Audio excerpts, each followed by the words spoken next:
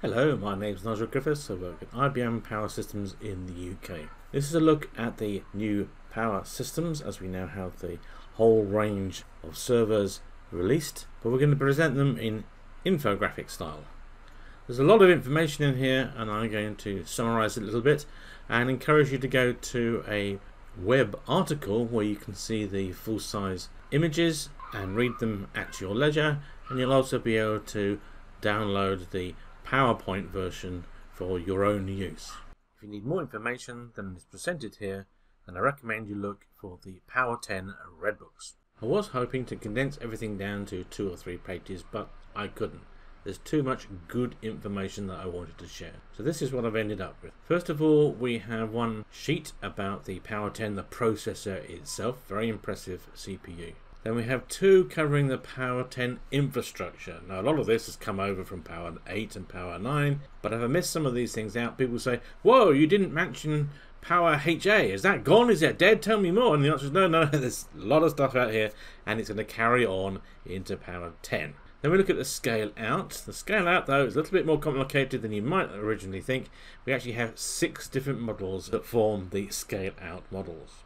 So there's one sheet that tells you what the differences are, then there's another sheet on the S1024 and the S1022, and there's the matching L models, which are much the same. And then there's also the smaller S1014 and the S1022S models. We'll cover what's unique about those two. Then we have the big guys, the enterprise guys. So we have enterprise mid-range, the 1050, and the enterprise E1080. That was the first model to ship in 2021. Right then, we'll start off with the Power 10 chip itself. As you can see over here, we can have up to 15 cores, up from 12 in the Power 9 machines. We have the cache sizes in here, which are pretty large when you start adding them up. If you look at the big machine, it has nearly 2 gigabytes of cache inside the processor. So it doesn't even need to get to memory to actually do the operations.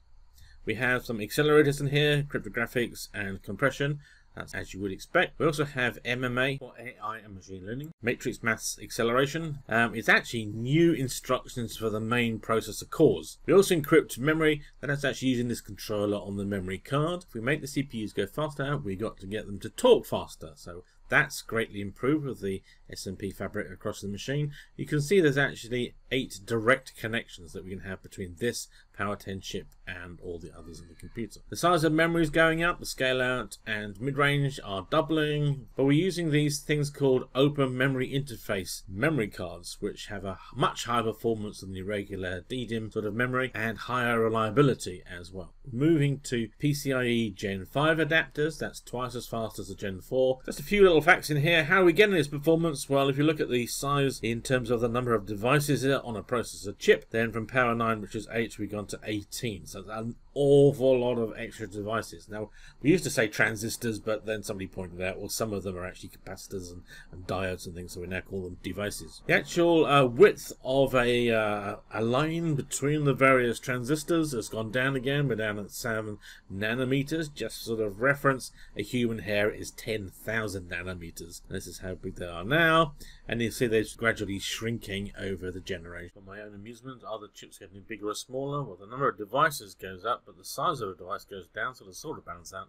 But Power 10 is a bit smaller than the Power 9 chip. Now we move on to Power 10 infrastructure. We can see on the left and here the small, medium, large. We call them scale out, mid range, and enterprise. Each one of these boxes here could be uh, an hour's lecture, but we'll try and do it a lot quicker than that. Why do people like Power 10 computers? Well, mission critical. First of all, they're big and they're fast, and secondly, because they're very, very reliable. That allows you to run your big workloads safely without having lots of downtime. And that mission critical that we build into the big ones actually works on the smaller machines as well. They're very fast for their price and reliable too. On the automation side, we use Power VC, which is an extension to the OpenStack software that you can get. That allows you to roll out virtual machines very, very quickly and control them cookie cutter style. We've also invested in something called Ansible. It's from Red Hat for our DevOps. That allows you to automate tasks on your virtual machines once they've been rolled out and allows you to cut down on your systems management and increase your consistency in your computer room. High security built into the Power 10 processor, as you'd expect from IBM, both the cores and encryption engines. Then we also have a package called Power SC. It's a toolbox of a whole bunch of tools in here that can help you increase the security and to make sure that you can prove compliance to the highest security in your computer room. Application modernization. This is using Red Hat and OpenShift allows you to coexist your big uh, databases and workloads along with an OpenShift on the same machine and that allows you to have containerized workloads talking to the databases directly and that gives you agile programming teams with lots of fast OpenShift rollout of your updates. We also have uh, greener technology. Broadly speaking, each generation uses uh, the same or slightly less electrical power, and of course, they're much faster, so that means it's more efficient computing, what we call more bangs per watt for each generation. So you need fewer servers to do the same job. We also had questions from customers about sustainability, and, and we're all amazed how good IBM is actually at this. We have uh, environmental impact as a high design item in manufacturing, computing, and recycling. So we produce less waste. We've got whole hours lectures on this about how IBM is doing it, even keep, keeping down the amount of packaging we send you with each computer. Investment protection, if you invest now in Power 10, then you can carry a lot of that into your Power 11 computers in the future. Same goes for 9 to 10 so that if you have capacity and entitlements, you can move those from one generation to the next generation. We also have this thing called Power Enterprise Pools that allow you to buy a machine, say half activated, and the rest of it you can activate on a minute by minute basis to hit the peaks in workloads that you can't predict and you certainly don't want to run out of compute power. We have Power Systems Virtual Server, which is in IBM Cloud. That give you access to Power 9 and Power 10 computers in a very simple way. I also have a series on YouTube about getting access to AIX costs you down to three or four euro dollar pounds a day. That's less than you pay for a cup of coffee. There we go. I hope you didn't blink because you're now part two of our infrastructure. First one up here is Oracle certified. Well, it's not certified to the hardware, it's actually to the operating system level, in our case AIX. And all the current AIX versions, 7, 1, 2 and 3, uh, have available Oracle 12 to Oracle 19, which was the last one at the time I made this video.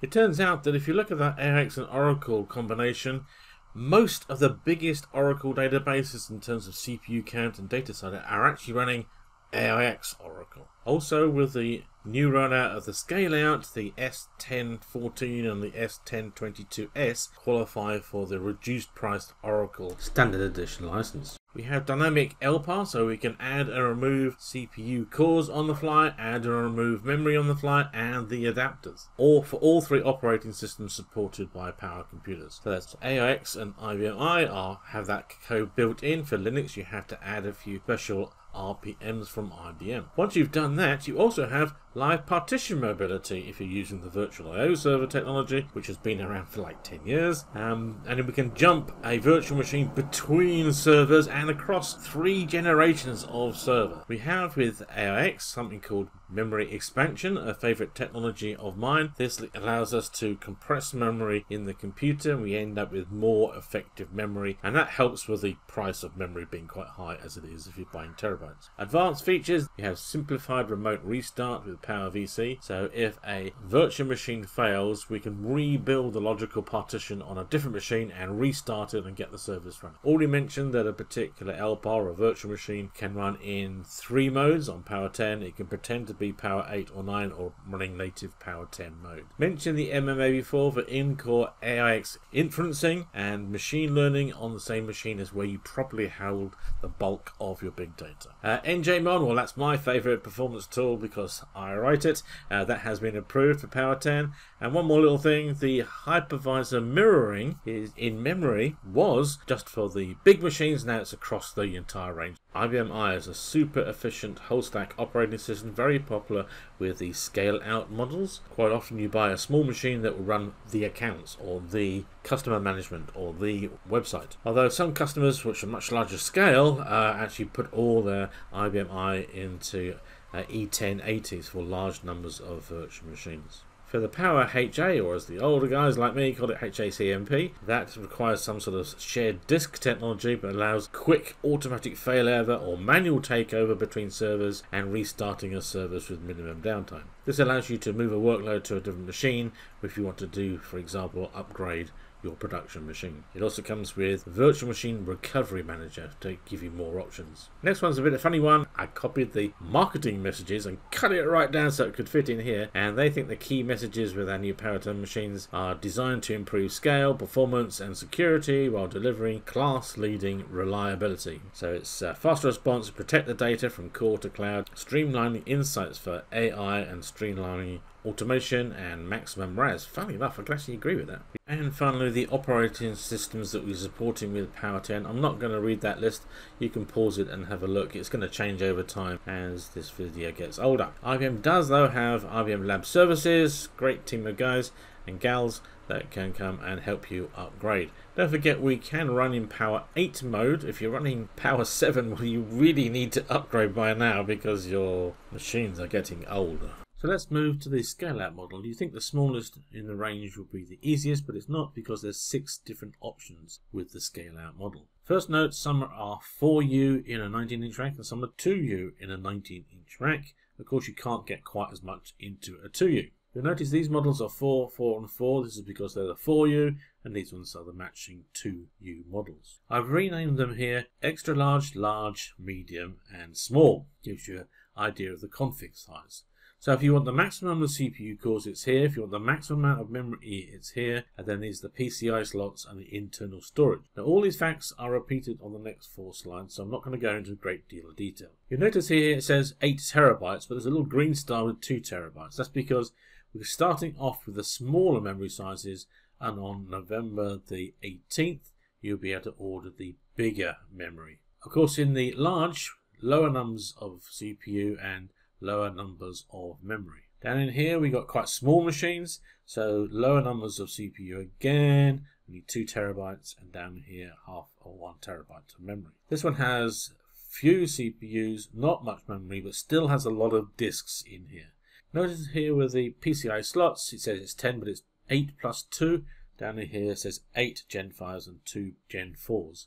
That's how to work out what's going on. Now what's this going on in here about Linux? Well, we have an S1024 and an L1024. This one is for running Linux. I think it'll be at a lower price. But IBM was quite generous, realizing that some workloads will only run on AIX or IBM i, so you're allowed to run 25% of the cores running AIX or IBM or combined 25%, even though it's classified as a Linux machine. Configuration details are exactly the same for the S and the L model. Hopefully that will let you decide which ones you want and now let's go into the main details of each of these machines. I'll be covering the S1024 and the L24 together, same for these two over here. So here's the first scale out a fact sheet.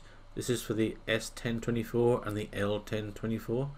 I Already said that the L1024 is exactly the same config.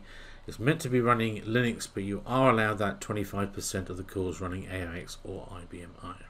Up here is the MTM machine type model. The business partners and IBMers have to learn that for your ordering uh, configurations. When I get to the other scale out servers, I'll just highlight the differences rather than going through the full details that I will now. Performance is key for buying a new server. Why would you buy a slower new server. This up by 128% means we're going 128% faster. So if the Power 9 machine is doing 100 miles an hour, now with Power 10 doing 228 miles an hour. The RPerf rating is 1332. Highlighting this is two times faster. I've got these graphs to scale to give you a flavour of what a big jump this is. Memory bandwidth, this is primarily due to the OMI memory, these new cards that we're using. They come in various sizes. The ones in grey and here are available from November the 18th, 2022. There's overall there's uh, 32 DIMM slots or DDIMM slots available if you've got all the processors installed. The fabric is how we talk between the Power 10 chips. And we can have either have one socket or two sockets inside the machine and it's a one hop design. So every Power 10 talks directly to every other Power 10 chip in the server. That means we have one or two sockets, which means two or four Power 10 chips, and we can upgrade from one socket to two sockets if that's allowed. In fact, the only model that you can do that with here is the 12 core model on a single socket. You can upgrade it to a 24 core server by activating and putting the uh, chips in for the second socket. Note that this 12 cores is actually made out of two 6 core chips. If you want 32 or 48 then you have to have the two sockets. The one socket versions of these is not available. So these are the only numbers of CPUs you can have. Of course you can buy the machine with all these cores in them and only activate a lesser number of cores and activate them later on perhaps. Notice the gigahertz rating. Don't get wound up about this. The Top Gun will probably generate a bit more heat, so it's clocked down a tiny fraction. But this is only 2.5%. I mean, you barely notice that going on in real life. To control your machine, you have to use a HMC. It'll be the CR1 model or the CR2 model or the virtual HMC. It'll have to be running HMC version 10 software. That will support the Power 8, Power 9 or Power 10 servers, not the Power 7. It will just get completely ignored by the HMC. HMC is going to talk to the eBMC, that's the new service processor being used in the scale out model. There's no upgrades from Power 9 to Power 10. You can move over compatible adapters, you can move over the remote SAS drawers and the remote I.O. drawers.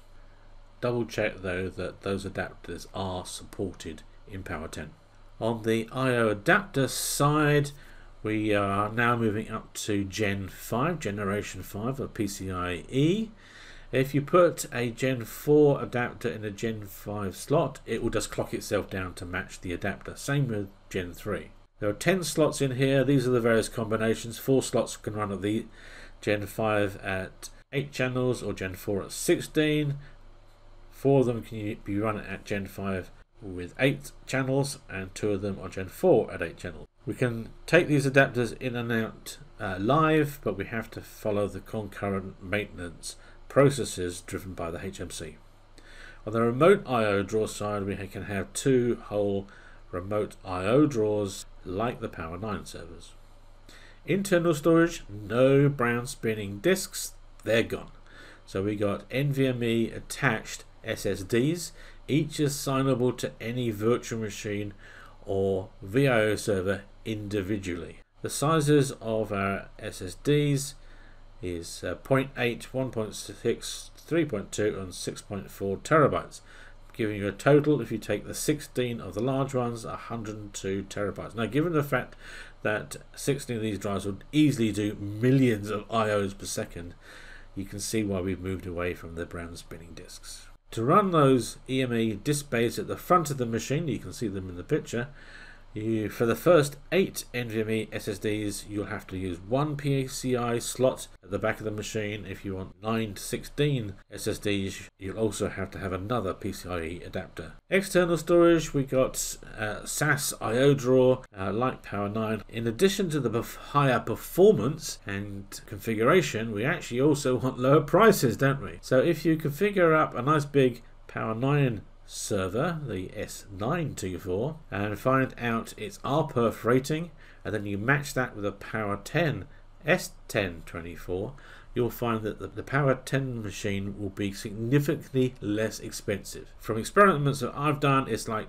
20 to 25% less expenses. But it depends on your actual configurations, doing like for like, and particularly uh, large memory in the terabyte ranges uh, can actually greatly affect the price. We also have sustainability. This is using less electricity over the previous generation. It's going to be about 30% less energy. It's also got the titanium power supplies, which are the new standard coming out so that they're efficient over a greater range of the number of watts being drawn into the computer. So here's the next scale out, it's the S1014. We've jumped from the biggest in the range to the smallest in the range. The relative performance is only up 37%. Point will be that the prices are down, so that's still useful. Uh, minimum amount of uh, memory, although a terabyte's still quite a lot of memory. Um, it's only got one Power 10 chip in it, so it's a zero hop design. There's nowhere else to jump to. And we've got uh, two uh, different configurations, uh, four cores, uh, eight cores in the machine, just a single socket. It can be in a tower format. This is the only one that you could do this. This will allow it to go into an office or a shop or a warehouse, for example, if you only want a dedicated uh, application to be running. That's particularly good for IBM i. It doesn't need a lot of compute power. And um, if you also want to run an Oracle Standard Edition, this is a good machine to start off with. Uh, these are the same, uh, slightly less adapters in it because we've only got one chip to run the adapter slots. All the disks are still there, and as I said, lower prices are the main point of this server. Here's the S1022 or L1022. Again, this is the Linux version, although we can run 25% of the cores running AIX and or IBM i. You'll see the performance is down from the 4U machine. That's primarily because we've only got 40 cores available and it's running less CPU cores because it's difficult to get the heat out of the machine because it's only 2U. The relative performance number is up 125%, that's a respectable amount, to 1024, which is a spooky number really. It doesn't support the biggest OMI memory cards, so the size of the memory is down a bit. We can still have one or two sockets, two or four Power 9 CPUs with these combinations in same gigahertz rating as the 4U machine. This is the same this is the same in for the Gen 5 PCIe. The storage is the same except there's only 8 NVMe slots and we're going to still win out with the uh, lower list prices and higher sustainability with less electrical power use. And finally we have the S1022S. The S I think it's for small. The R perf ratings is up a bit, 22%. Again we're probably looking at the list prices are going to be particularly uh, cost effective. Similar arguments with the not having the biggest 4U memory cards. In here we got a new thing. We have the Power 10 chip and this little switch in it. This switch is for the PCIe connections to do I.O. So we still have good numbers of the PCIe adapters inside the machine, even though we've got lower numbers of Power 10 CPUs. We can buy it in a 4-core chip as a single socket, we can buy it as an 8 core chip as a single socket, or we could have two of those double socket for get to 16 CPUs as a maximum. Everything else is much the same as the previous model. Now a complete change in tack, we're going to the enterprise machines. This is the mid-range machine, the E1050 completely different ball game. Instead of having lots of different options like we have with the scale out, we just have one design but we can leave out some components to make a smaller configuration. A couple of big important things with this machine is if you take the lid off the machine, you'll find it's absolutely full. In the scale out, there's quite a lot of space in there. There's air ducts to keep the air flowing across. In the E1050, it's just full of cards and heat sinks as you go from the front to the back of the machine. It means that the front of the machine is whopping great big. Fans pushing the air through it at high volume to make sure we're keeping the machine nice and cool. Another big feature is the performance. The maximum RPerf is 2688 or 2.3 times the power. Again, I've got this graph to scale. You can see the jump in performance. In my 30 years at IBM and 10 years before that, I've never seen a new computer range take a jump like that. And it's all in a 4U package. It is quite a long computer. You have to be careful with that if you haven't seen the Power 9 machine. It's using the same OMI memory that we're using in the entire range. The trick here is 4U, so you can take the bigger memory cards when they're available November the 18th, and it's got 64 of these differential DIMMs slots inside the machine. That's how it doubles the memory. The scale out takes 8 terabytes, here it's going up to 16 terabytes when the big cards come out. We'll skip this diagram in the middle. Big factor in here, 96 CPU cores is the top size of the machine for high performance. Above that you can see that we have dual chip sockets, like this diagram. There's four dual chip sockets with two Power 10 processors in each. Those uh, chips can have 12 cores, 9 cores, or 6 cores in them, and so if you have the different chips and the different number of sockets, you can see these are all the numbers of variations you can have with the number of CPU cores. You can buy it with two sockets and then add a third socket later on. That will take downtime. Your CE will be doing that for you. And then you can upgrade it to four sockets. Alternatively, you could buy it with the four sockets all in there and only activate the ones you need. That will give you the nice feature that you can activate those extra cores uh, live without taking the machine down. It's a swings and roundabouts, you'll have to make up your own mind. Down here we can see it's a one hop design still, even with the four sockets. Every Power 10 chip has a direct connection to all the other Power 10 chips there's a little cable in there between the two. This makes it a very efficient design for SMP. Also in this diagram you can't quite see it perhaps but you have uh, connectors to all the NVMe drives and you have connectors from every one of the chips to a bank of memory inside this machine. We've seen the details down here before, the HMC, CR1 or 2 or the virtual HMC. We got uh, That will have to be running version 10 of the HMC software and that will support Power 8, 9 or 10, not Power 7. The E1050 has the new BMC service processor, like the scale-out machines. No upgrades from Power 9, but you can move compatible adapters, particularly the newer adapters. Over here we're looking at the storage. We have 10